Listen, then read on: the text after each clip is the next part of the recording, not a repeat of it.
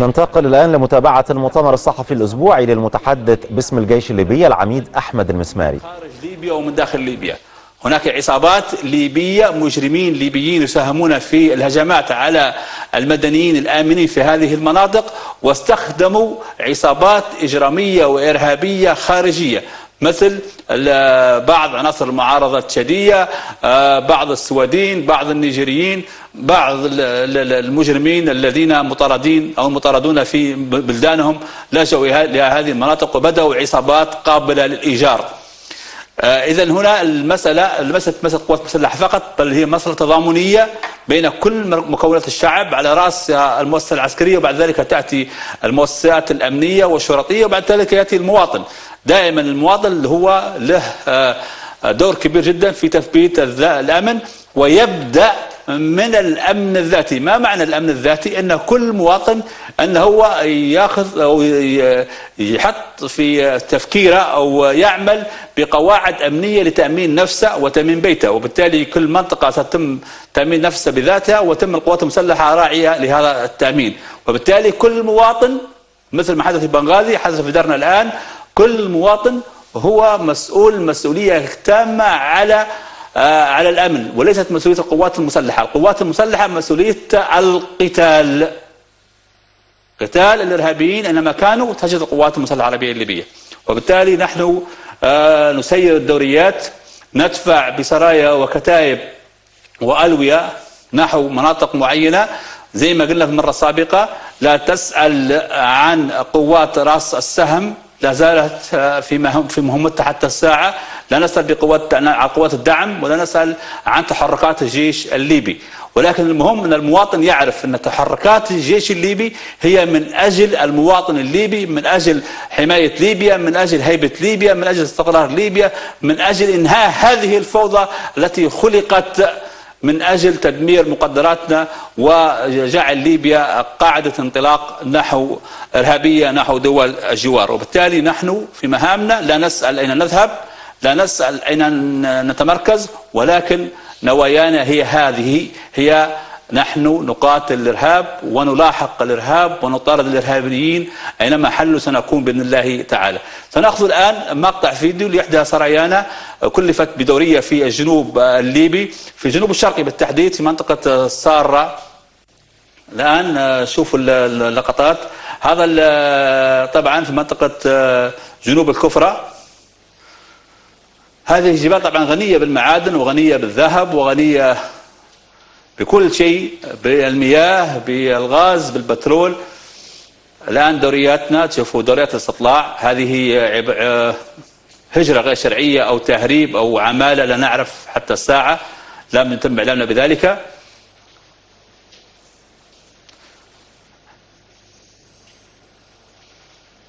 هذه الدوريات هذه منطقة السارة. هذا مطار السارة العسكري متأثر جدا بالظروف الجوية. هذه قاعدة السارة أنتم تعرفوا قاعدة السارة جيدا.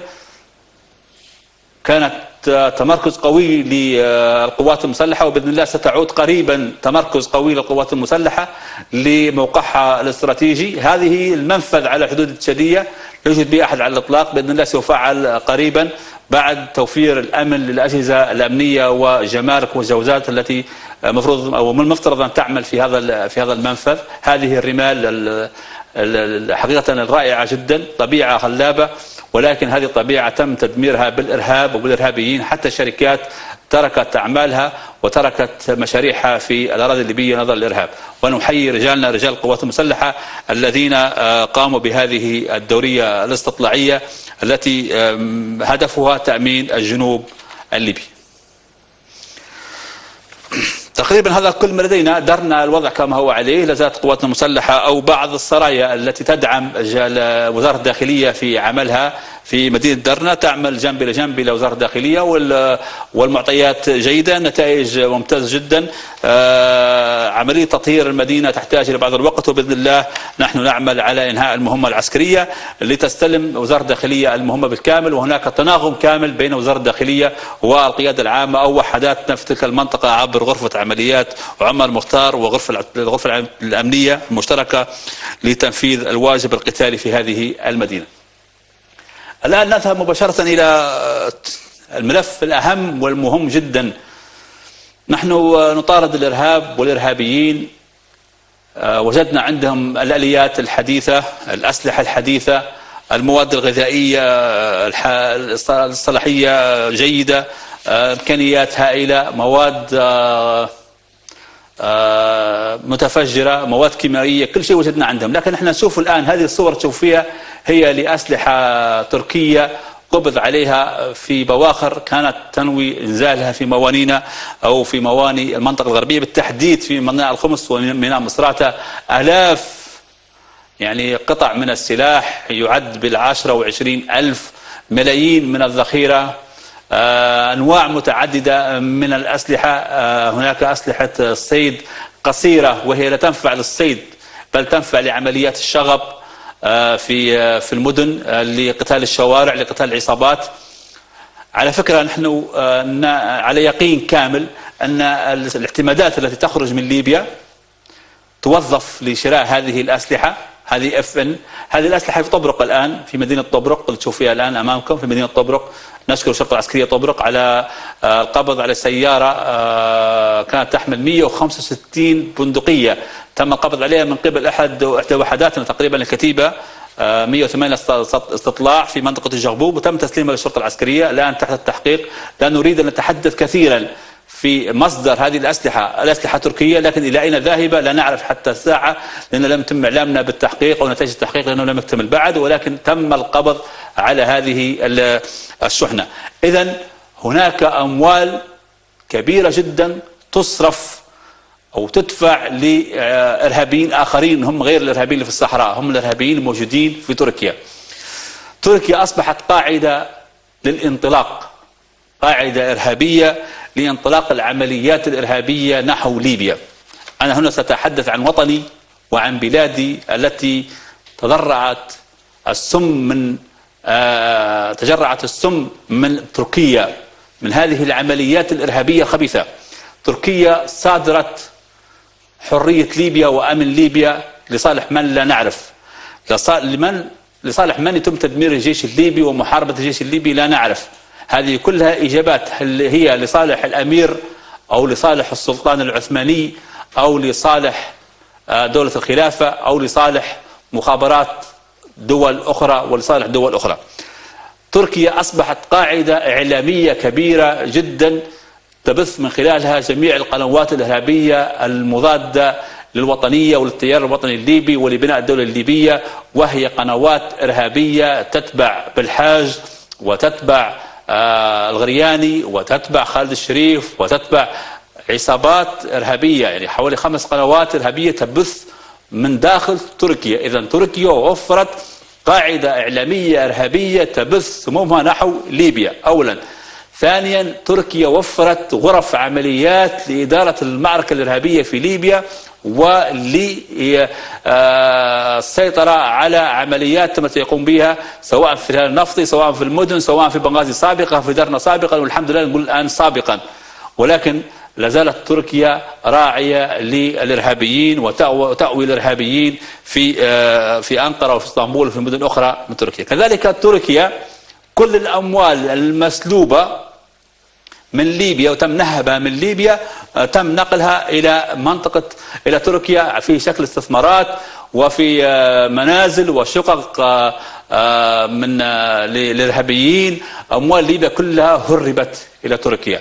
الذهب يتم تهريبه إلى تركيا. وهناك عملاء في المواني وفي المطارات يقومون بمساعدة المهربين على التهريب في كل المطار. ومعلومين لدينا كل واحد معلوم لدينا سجلات كاملة لكافة الإرهابيين. وعليه نحن آه، نطالب ونكرر دائما أن المجتمع الدولي عليه أن يكون إلى آه، إلى جانب القوات المسلحة العربية الليبية لأنها هي تمثل الجهة الأمنية الوحيدة في ليبيا القادرة على آه، تثبيت الأمن والاستقرار وبالتالي نطالبها بتحقيق دولي. نقول دولي. وليس محلي مثل التحقيقات السابقة التي نسمع بها في تركيا وفي دول أخرى وهي عبارة عن أشياء صورية وأشياء إعلامية لا ترتقي لمستوى الحقيقة. القرارات التي تم اختراقها من قبل تركيا ليست قرارات ليبية فقط بل هي قرارات دولية. حوالي أكثر من سبع قرارات دولية تمنع امداد الإرهابيين ومساعدة الإرهابيين وتركيا اخترقت هذه القرارات. هناك حظر على ليبيا تركيا تركيا اخترقت هذا الحظر شوفوا نحن نعود الصورة ما قبل الأخيرة هذه الصورة. شفت هذه جاية من تركيا. خمور يأخذوا في فلوسنا والذهب بتاعنا ويجيبوا لنا في خمور. شوف.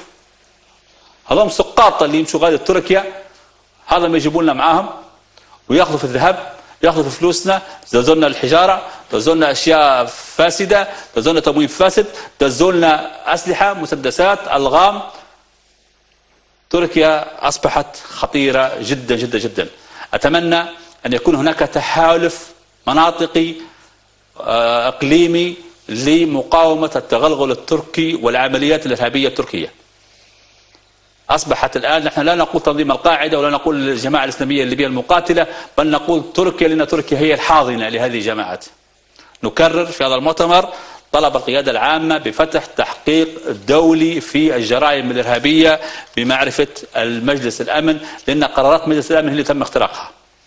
هي التي تم اختراقها وبالتالي مجلس الأمن هو المخول بالتحقيق في هذه القضايا. تقريبا هذا كل ما لدينا في هذا المؤتمر. نراقب في الخروقات الأمنية التركية نراقب في الاجتماعات الخفية التي تعقد هنا وهناك. نحن ليس لدينا حد الآن أي موقف من هذه الاجتماعات لم نعلن أي شيء حتى الآن. آه سنعلم آه موقف القيادة العامة من خلال جلوسنا مع السيد القائد العام في الأيام القادمة. وبالتالي سننقل لكم موقف القيادة العامة سواء من المؤتمر الجامع سواء من ملتقى الجامع سواء من مؤتمر سرت الذي سيعقد قريبا. لا نعرف حقيقة الموقف ليس لدي وبالتالي اعذروني لا, أستطيع أن أعطيكم أي شيء بخصوص المؤتمر الجامع أو موقف القيادة من المؤتمرات المنعقدة الآن. في نهاية هذا المؤتمر نحييكم ونؤكد لكم أن القوات المسلحة جاهزة ولكن للتعامل مع أي طاري ولكن نحن التعامل تعامل عقلاني نتقدم حسب رؤية معينة رؤية تضمن سلامة السكان اللي أمامنا سلامة المدنيين تضمن تطبيق مبادئ إعلان حقوق الإنسان تضمن كذلك أن نحن نتقدم ولا نتراجع وبالتالي المعركة تقدمية حتى هذه الساعة. بإذن الله الأسبوع القادم سنلتقيكم وإذا كان هناك أي شيء عاجز سنكون معكم في مؤتمر استثنائي